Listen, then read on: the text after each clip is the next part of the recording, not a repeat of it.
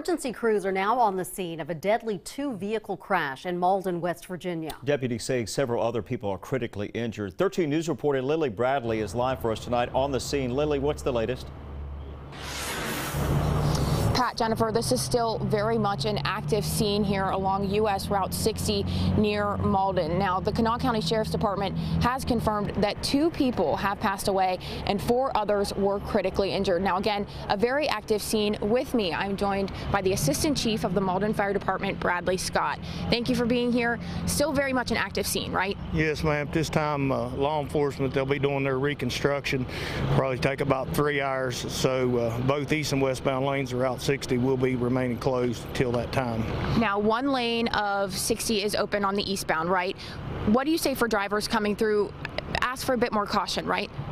Yeah, they need to slow down coming through the area, and actually they can get off at the Malden exit and go on uh, old Route 60 of Malden Drive to uh, Midland Drive, and that, that will take them on up to Belle, and they can get back on Route 60 at the uh, DuPont Underpass. Now, the westbound lane still closed and will be for quite some time. And the eastbound lane is going to remain closed also. Okay.